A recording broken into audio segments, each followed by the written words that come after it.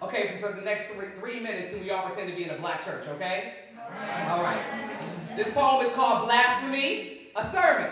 After hearing a pastor say that it was wrong to call on the Lord's name during sex.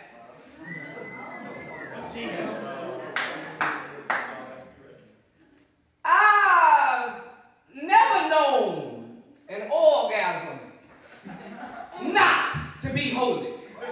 You'll try and you'll try and name from your blood and not thank the Lord for endless rolls of skin begging someone to run, to see, to harvest, the tithe, the TC. The body is a temple filled with Holy Ghost thick as good cream, filled with people who've risen from the pews dancing far too close, far too slow. This might not be dancing at all, but the music, the steady headboard like a thousand believers rejoicing, raising the dust to raise the spirit, then body and mouth is something inside that demands out. And Josh, you ain't lived until you've been made gale, out under the storm at the window, until lightning takes shelter in your body, the sweet execution of stubble on a hundred die, paradise lost found in your throat. See, I shout, oh my fucking God.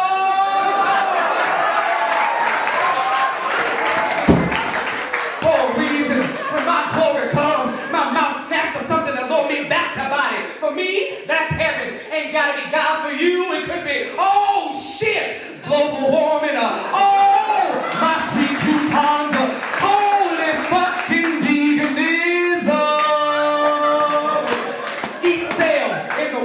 suddenly at peace. When you are dizzy and drenched in his sweat, when your mouth is filled, when his mouth is filled, but what needs to be drained is drained. Let the first word after be praised for the possibility of skin, the gospel of nails in your back fat, the promise of nipples and earlobes. See, I believe in a God who would like to see his creations attempt to create. I believe in a God who made the world in six